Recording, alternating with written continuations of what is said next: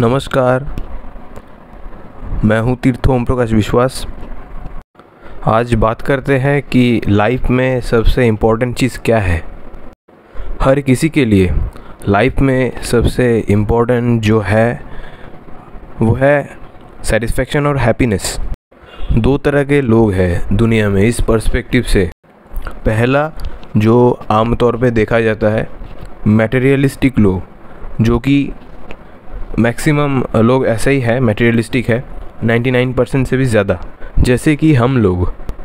और second category में आते हैं लेस देन वन परसेंट लोग जो है बहुत स्पिरिचुअल जो रियलाइज़ कर आ, कर पाते हैं किसी तरीके से हम लोग तो नहीं कर नहीं कर पाते हैं एक्सपीरियंस कर पाते हैं सुप्रीम सोल को।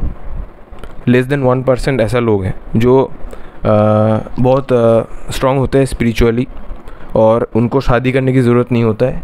वो जो मेल फीमेल अट्रैक्शन है इनके बियॉन्ड जा पाते हैं मेटेरियलिस्टिक चीज़ों के बियॉन्ड जा पाते हैं। तो इस तरह के लोगों के लिए सबसे इम्पोर्टेंट है रियलाइजेशन ऑफ़ सुप्रीम सोल हमारे लिए ये चीज़ बहुत इरेशनल लग सकता है क्योंकि हम एक्सपीरियंस नहीं कर सकते। हम दो चीज़ कर सकते, तीन चीज़ कर सकते एक्चुअली या तो हम बिलीव कर सकते या डिसबिलीव कर सकते या तो एग्नोस्टिक रह सकते, बीच में न्यूट्रल रह सकते। क्योंकि हम एक्सपीरियंस नहीं कर सकते। ये मैं पहले बता रहा हूँ जो लेस देन वन परसेंट लोग हैं, उन लोगों के लिए जो वैलिड है। हम लोगों के लिए क्या है मेटेरियलिस्टिक लोगों के लिए जो greater than ninety nine percent है, वो मैं थोड़ा बाद में बता रहा हूँ। तो इस तरह के लोग, जो लेस देन वन परसेंट है स्पिरिचुअल लोग मॉन्क टाइप के लोग, इन लोगों के लिए रियलाइजेशन ऑफ़ सुप्रीम सोल बहुत इंपॉर्टेंट है। और सुप्रीम सोल के एक मैनिफेस्टेशन हम भी है, इंसान। हम लोग गिरे हुए आत्माएँ हैं। लो क्वालिटी आत्मा। हमारे लिए रियलाइज़ करना मुश्किल हो जाता है कनेक्शन बनाना मुश्किल हो जाता है, जो कि साइंस के बियॉन्ड है, जो फाइव सेंसेस है फाइव सेंसेस इसके बियॉन्ड है। तो ईश्वर के बहुत सारे मैनिफेस्टेशंस हैं। लो कैटेगरी में इंसान आते हैं, देव आते हैं, देव यानी कि इंद्र, फिर अग्निदेव, ये सब, जो हेवन में रहते हैं। हेवन कुछ अच्छा जगह नहीं है हेवन भी आर्थ जैसा ही है। वहाँ पे हैप्पीनेस ज़्यादा है, यहाँ पे सफरिंग थोड़ा ज़्यादा है, और बाकी ज़्यादा कुछ डिफरेंस नहीं है, और वहाँ पे भी असुर जो है डिमोन्स वो अटैक करते हैं। डिमोन्स ह्यूमंस और जो देव है गॉड्स कहते हैं। वो गॉड्स नहीं है एक्चुअली गॉड्स कहना नहीं चाहिए।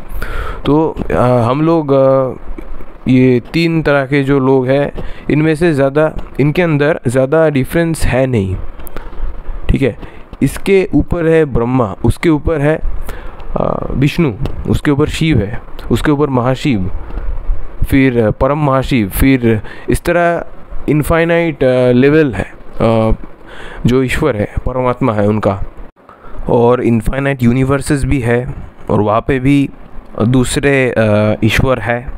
जितना सुपीरियर क्वालिटी की आत्मा हो, जितना हम लो क्वालिटी आत्मा से ऊपर क्वालिटी के आत्मा तक जाते हैं तो जो लाइफ स्पैन है, वो बढ़ता है।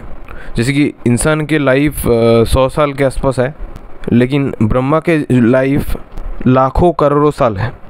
और जो महा शिव है, उनके लाइफ हमारे लिए तो इनफाइनाइट है। वक्त के साथ साथ जो सुप्रीम सोल से इनके पावर कम हो जाते हैं और ब्लैक होल्स तैयार होते हैं डिस्ट्रक्शन की वजह से। और जो ऊपर वाले लेवल के जो ईश्वर है वो नीचे वाले लेवल के ईश्वर को बनाते रहते हैं क्योंकि इनफाइनाइट लेवल्स हैं। और अभी मैं बात करता हूँ जो हम लोग हैं ग्रेटर देन 99 परसेंट लोग 99.99 परसेंट हो सकता है। हम मेटेरियलिस्टिक लोगों के लिए सबसे इम्पोर्टेंट क्या है लाइफ में?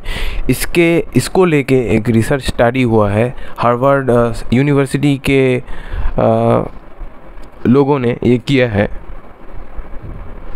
लिंक मैं दे दूँगा। हार्डवर्ड यूनिवर्सिटी था या कुछ और था, मैं मैं लिंक दे दूँगा, ठीक है? डिस्क्रिप्शन बॉक्स में आप देख सकते हैं। कमेंट में भी देख सकते हैं। एट्टी ईयर्स सबसे लंबा रिसर्च स्टडी किया गया है ह्यूमन लाइफ के ऊपर। 80 ईयर्स के लाइफ स्टडी ऑन हैप्पीनेस ठीक है? तो सबसे इम्पोर्टेंट चीज़ है healthy relationship good healthy long term relationship life में सबसे इम्पोर्टेंट है। और रिलेशनशिप के अंदर बहुत सारे रिलेशनशिप्स है।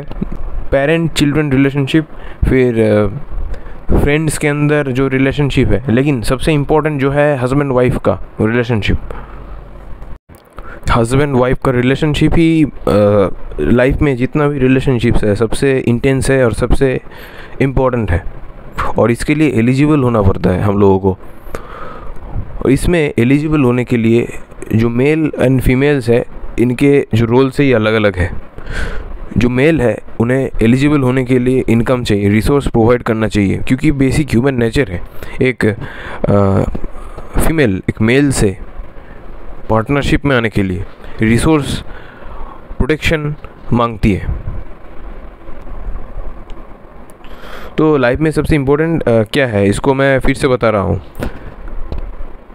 लाइफ में सबसे इम्पोर्टेंट है हैप्पीनेस और सेटिस्फेक्शन हैप्पीनेस एंड सेटिस्फेक्शन होने के लिए मेटेरियलिस्टिक लोगों के लिए सबसे इम्पोर्टेंट है अच्छे रिलेशनशिप अच्छे रिलेशनशिप में अच्छे रिलेशनशिप में आ, के लिए एलिजिबल होने के लिए अच्छे रिलेशनशिप में आने के लिए एक आ, मर्द को एक मेन एक मैन को मेल्स को अच्छे से पढ़ाई करना सक्सेसफुल बनना हार्ड वर्क करना इम्पोर्टेंट है पैसा कमाना इम्पोर्टेंट है।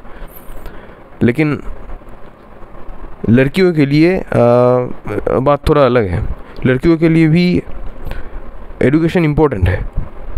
कैरियर इम्पोर्टेंट है लेकिन सबसे इम्पोर्टेंट नहीं है। एक रिसर्च स्टडी हुआ था जहाँ पे वर्किंग वुमेन को क्वेश्चंस पूछा गया वेस्टर्न वर्ल्ड में यूएसए में।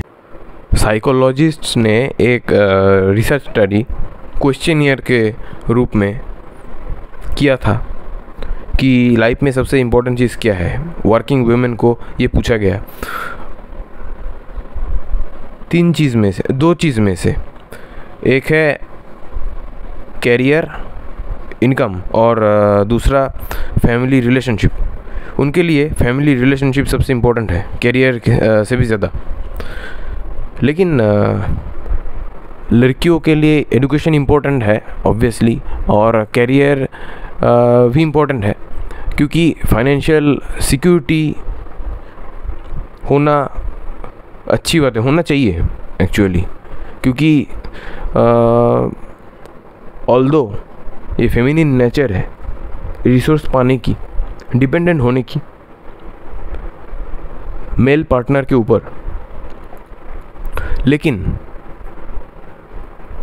अनफॉर्चुनेट मिसफॉर्चुनेट सिचुएशंस हो सकता है, जैसे कि हस्बैंड का डेथ हस्बैंड का पैरालिसिस फिर सेपरेशन हो सकता है। सेपरेशन होना नहीं चाहिए। सेपरेशन होना बहुत ख़राब है।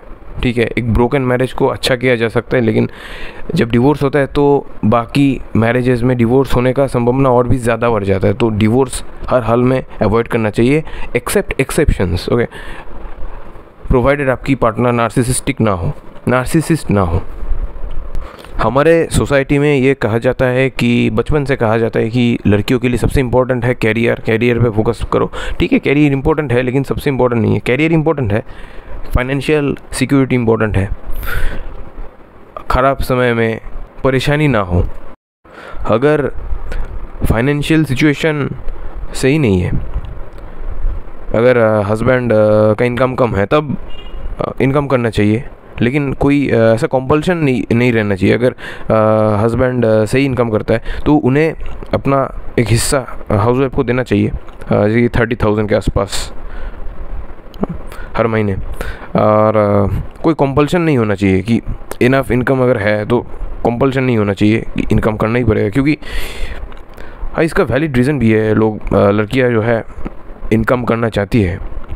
हाउस वाइफ बनना नहीं चाहती। क्योंकि हमारे सोसाइटी में बी लिटिल किया जाता है। छोटे नज़र से देखा जाता है हाउस वाइफ्स को सर्वेंट के साथ कंपेयर किया जाता है। लड़कियाँ भी करती है। हाँ घर का काम करना नहीं चाहती। लेकिन ये इम्पोर्टेंट है। सर्वेंट हाउस वाइफ के काम को सब्सटीट्यूट नहीं कर सकता। ठीक है? एक लड़की के लाइफ में सबसे इम्पोर्टेंट है माँ बनना बच्चा होना। ठीक है? प्रेगनेंसी और इस पर्टिकुलर टाइम में हर किसी को सपोर्ट की ज़रूरत है प्रोटेक्शन रिसोर्स की ज़रूरत होती है। और वो प्रोवाइड कर सकता है। जो मेन वही कर सकता है। ये रियलिटी है ह्यूमन नेचर ह्यूमन नेचर को समझना है। कोई प्रोपागेंडा में नहीं पढ़ना है कोई प्रोपागेंडा के चक्कर में फेमिनिज्म फिर राइट विंग लेफ़्ट विंग किसी भी चक्कर में नहीं पढ़ना है। आप गूगल में सर्च करेंगे तो गूगल बायस्ड है गूगल लेफ्टिस्ट है एक्चुअली फेमिनिस्ट फेमिनिज्म को सपोर्ट करता है गूगल आप देखेंगे। अब अगर सपोर्ट सॉरी अब अगर सर्च करेंगे तो आप देखेंगे कि आ, जो वेबसाइट्स फेमिनिस्ट प्रोपागेंडा को सपोर्ट करता है, वो हायर रैंक करता है। गूगल में। और आप रिसर्च स्टडीज़ देखिए। समझिए ह्यूमन नेचर को समझना है। प्रोपागेंडा के चक्कर में नहीं पढ़ना है, किसी आइडियोलॉजी के चक्कर में नहीं पढ़ना है। और रिसर्च स्टडीज़ भी अनबायस्ड होना चाहिए अनबायस्ड सोर्स से होना चाहिए। बहुत सारे बायस्ड रिसर्च स्टडीज़ है आर्टिकल्स है। जहाँ पे कोई ज़्यादा डेटा दिया, दिखाया नहीं जाता, बस बताते हैं कि ये ऐसा किया गया, ऐसा रिज़ल्ट मिला। वो बायस्ड है, ठीक है? बहुत सारे बायस्ड रिसर्चेस रिसर्च वेबसाइट्स भी है। अब बच के रहना। ठीक है। विश मैं आशा करता हूँ आप ज़िंदगी में सक्सेसफुल हो। बाद में मिलते हैं, फिर से मिलते हैं।